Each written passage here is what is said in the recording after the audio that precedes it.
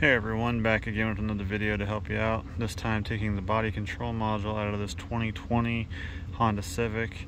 Uh, it's similar for I believe 17, 18, 19, 20.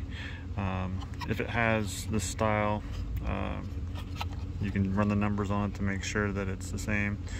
But uh, I believe these would probably need synced or modded or flashed or whatever in order to work with your vehicle.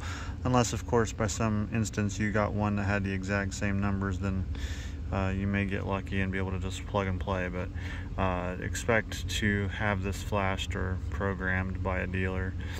Uh, but this is just a where is it and how do I get to it type video. This vehicle is in the junkyard and this module was bought by a customer who needs it. So this is a where is it and how do I get it out video.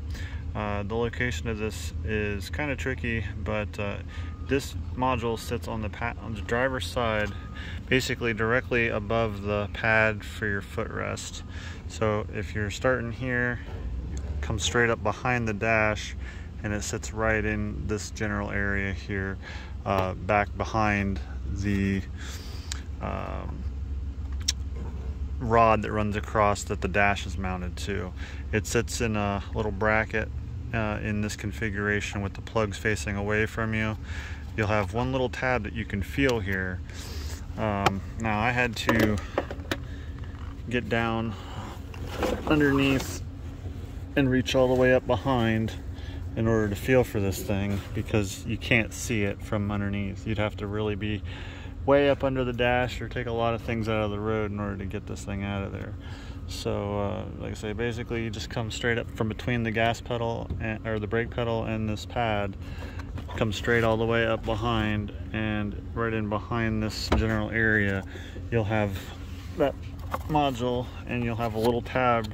You'll have this tab right here to press on and this module will slide sideways to release from the bracket that it sits in but uh, you'll have wiring up there so you'll want to unplug that stuff first before you attempt to slide that out there. Otherwise you'll be working against yourself trying to unplug it while it's loose flapping around in there.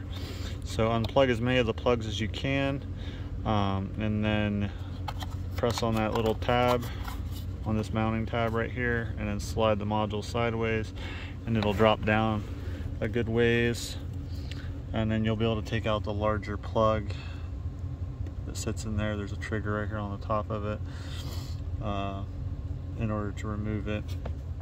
And uh, again, like I say, uh, it's not hard to do. It's just you have to feel around up in there behind it, behind all this stuff, and uh, locate that module. But that's the that's where you're gonna find it.